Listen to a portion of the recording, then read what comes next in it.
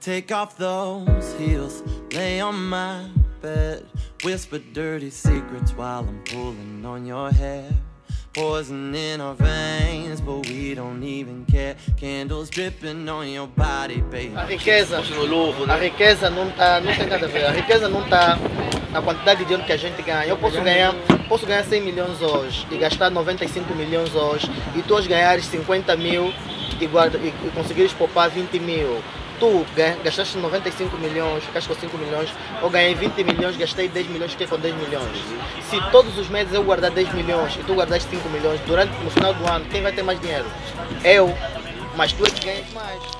Então, o segredo está na quantidade de dinheiro que a gente poupa. Depois, pegar nesse dinheiro que a gente poupa e fazer o que? Fazer ele crescer.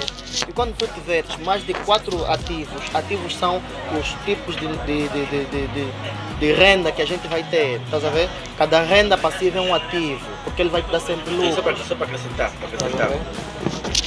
Quando que a tua, empresa cresça e dê lucros almejados, é importante ter bons gestores, trabalhadores, criados, porque é muito simples o seguinte,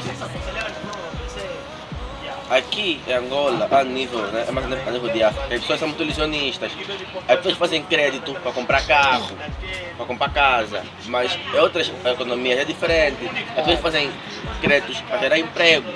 Vou te, vou te contar Você... um segredo. Né? Eu, eu aprendi uma coisa durante esse, esse tempo, que nós somos o resultado, tudo que nós temos à nossa volta é resultado daquilo que a gente tem aqui dentro. Estás a ver?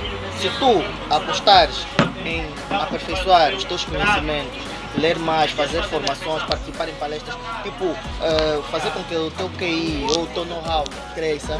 Quanto mais o teu know-how crescer, mais você vai crescer financeiramente, porque você vai ter ferramentas que vão te fazer ganhar dinheiro. Tu podes terminar e ser, sermos todos médicos, mas o que vai nos diferenciar é o quê? É o know-how de cada um. Eu se tiver ferramentas que me que me, que me ajude a montar uma, uma farmácia, um centro médico, mas bem feito, e tu te limitares por simplesmente a esperar o salário no final do mês na função pública, obviamente eu vou ser um médico que vou andar com um jeep e você vai andar com ideias, mas estudamos na mesma turma. Então, o segredo está onde? Investir nos conhecimentos. A gente tem que ter conhecimento para crescer. Todo mundo que cresce com conhecimento raramente perde o que tem. Esses que estás a dizer que, tipo, que yeah, quando tem muito dinheiro, não gastam em coisas desnecessárias. Eles tiveram uma oportunidade de ganhar dinheiro, mas não têm conhecimento. Estás a ver? Porque o conhecimento atualmente, quem tem conhecimento tem dinheiro. Porque, sim, porque você pode ter dinheiro, se não tens conhecimento, não vais saber em que investir. O que, é que vai acontecer? Vais comprar coisas superfluas, vais comprar casa, vais comprar roupa, vais comprar coisas que passam. O conhecimento é a base. E não basta. Por isso é que se diz que tu tens que ter, para além da tua formação acadêmica, tu tens que ter conhecimento em outras áreas.